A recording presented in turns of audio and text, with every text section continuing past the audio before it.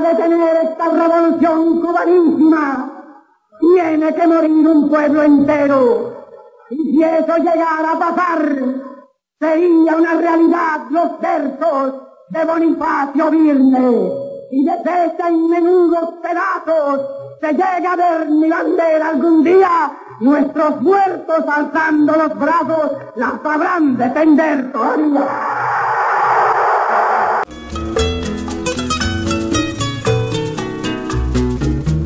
Después noble y tranquilo, como en el momento aquel, oirás de nuevo a Fidel preguntar, voy bien Camilo.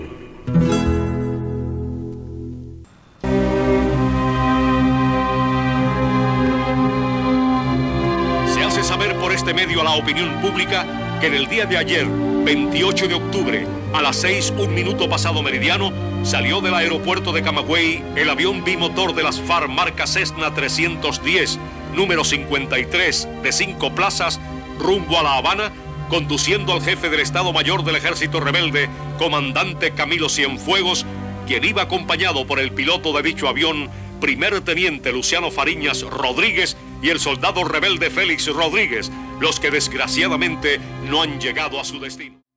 Traigo las seis letras de tu nombre a flor de piel, traigo tu cansancio del camino, traigo la vergüenza de tu sangre en el pincel, con que quiero pintar mi destino.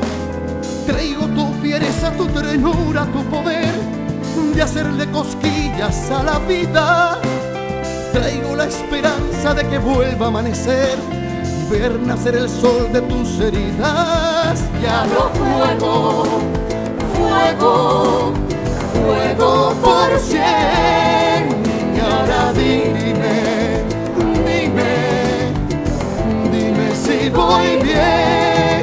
Ya fuego, fuego, fuego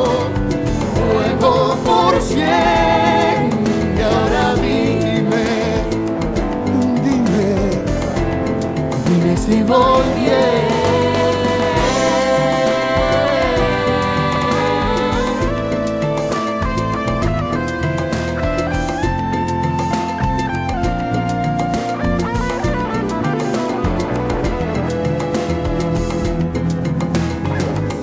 cuesta con tu temeraria fantasía de ir con el amor a pecho abierto aunque luego tenga que salvar la poesía hasta con los huesos de mis muertos.